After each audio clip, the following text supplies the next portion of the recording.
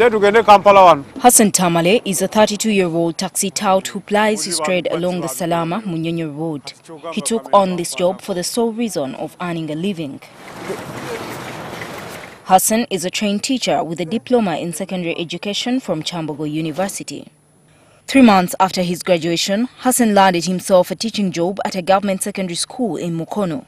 He has vivid memories of the three years he spent as a history and geography teacher.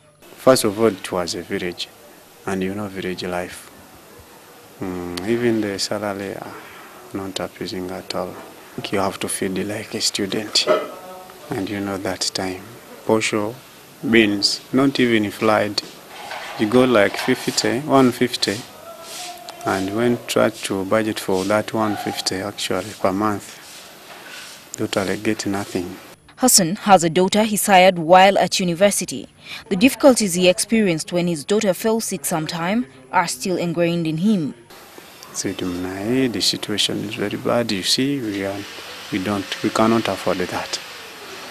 So I was so so disappointed.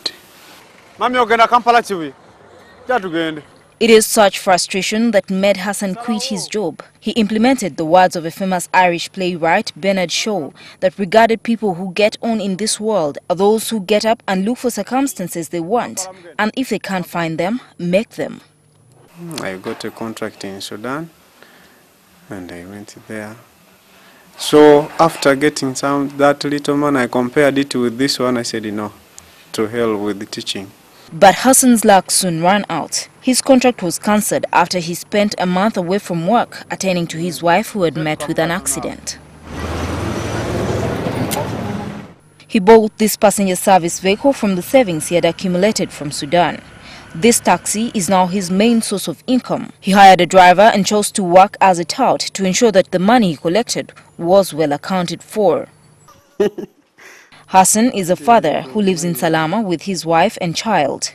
When his wife looks back at the days Hassan was a teacher, she is grateful he left teaching.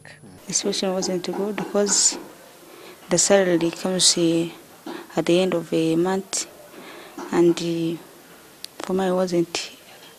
I was just uh, at at home, no job. There are times Hassan regrets quitting his teaching job. I used to be called sir, sir, sir all the time, sir. You could even see big men, big women calling you master, master. But here you you receive a lot of abuses. It is not a good job. But it only I told you I'm there only one thing. Just money. He still loves his profession and wouldn't mind returning to teaching if the conditions got better. I like teaching. I told you from my childhood. Yeah, because I like organizing other people. We set out to Namasumbi Senior Secondary School in Mukono, where Hassan taught for three years. Hassan was given a warm welcome by the students the moment we set foot at the school premises. The excited students spoke fondly of him. We used to play games with him.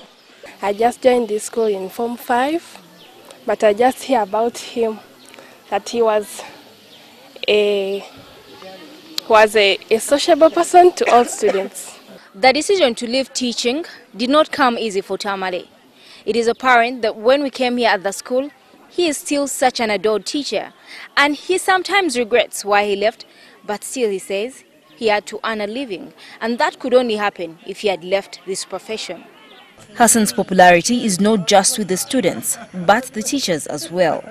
He was a peer in geography department. So when he told us he's leaving, in fact, I felt un- unconscious about his, his going away because he was a man who was not unrepressive actually.